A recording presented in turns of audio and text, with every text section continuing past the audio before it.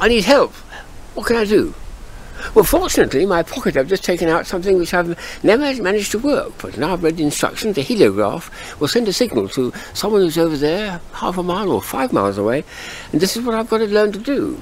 I've got to look at the person who's a long way away with this hole here.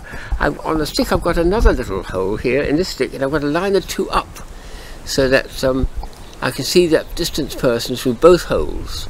The last thing I've got to do, I've got to slope the mirror so that the sun hits it and then goes forward and illuminates this hole here with a bright, bright glow of sunshine. But in the middle of that is a little dark, almost grey hole, which of course is this hole here, which is not reflecting.